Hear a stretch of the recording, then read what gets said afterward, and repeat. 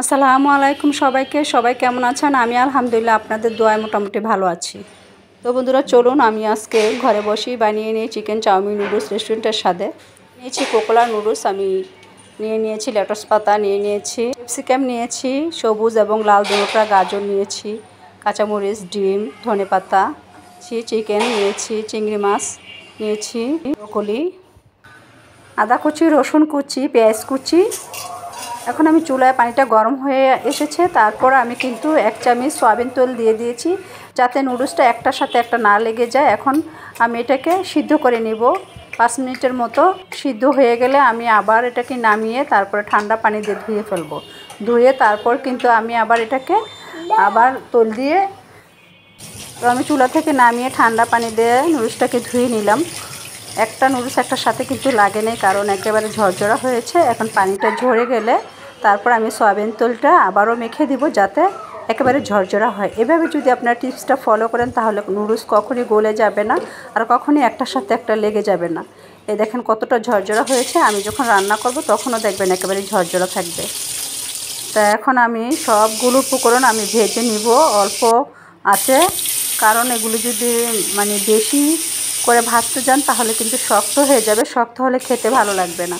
একেবারে রেস্টুরেন্টে যেভাবে রান্নাটা করে, আমি ঠিক ওভাবেই রান্না করছি যাতে এগুলো দাঁতের নিচে পড়লে খেতে ভালো লাগে এবং একটু শক্ত শক্ত থাকে।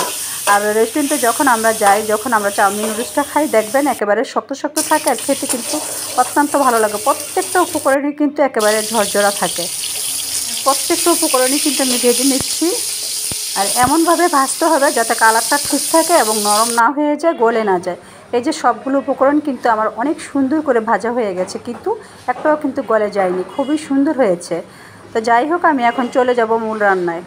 তো বন্ধুরা, দেখতেই পাচ্ছেন আমার ভাজাটা কত সুন্দর হয়েছে, কতটা লোভনীয় হয়েছে এখন আমি রসুন কুচি দিয়ে দিলাম, দিয়ে আমি একটু নেড়ে চেড়ে নেব, তারপরে আমি কিন্তু আদা কুচি দিয়ে দিব।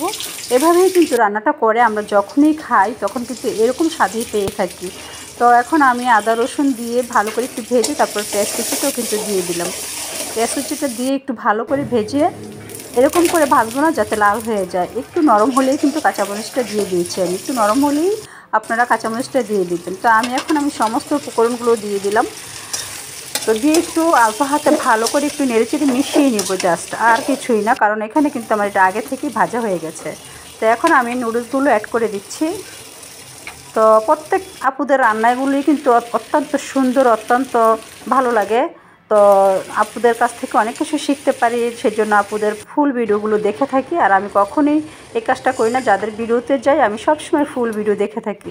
দিলাম কিন্তু টেস্টিং সল দিয়ে দিয়েছি, গোলমরিচের গুঁড়া দিয়ে দিয়েছি সোয়া সস দিয়ে আমি লেটস পাতা দিয়ে, তারপরে ধনে পাতা দিয়ে। এখন আমি সবগুলো নুডলস আমি নেড়ে চেড়ে একসাথে মিশিয়ে নিব।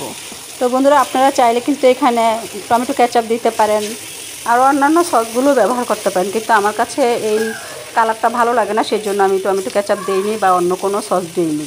আমার কাছে এটাই ভালো লাগে। দেশ ও দেশের বাইরে থেকে যে সকল বন্ধুরা সবসময় আমার ভিডিওগুলো দেখেন, আপনাদেরকে অসংখ্য অসংখ্য ধন্যবাদ জানাচ্ছি।